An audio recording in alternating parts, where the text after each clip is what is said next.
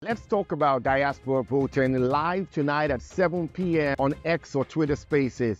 Go to my handle at Jermaine Sanwo-Olu to join in. We're going to be having Dr. Alistair Soyode, Prince Adeomole, and many diaspora leaders and influencers out there who want to join their voice in the call for diaspora voting. So if you support diaspora voting or you have some ideas to share, please tune in once again to X or Twitter space at Jermaine Sanwo-Olu and you'll be able to join this conversation. Truly do believe that diaspora voting will cause inclusivity and leapfrog our democracy to the next level. There truly is hope for Nigeria, and the diaspora has a critical part to play in the hope agenda of President Bola Ahmed Tinubu. So join us. Let's talk about diaspora voting and the power potentially portends for the people of Nigeria. Be there tonight. I look forward to hearing your views.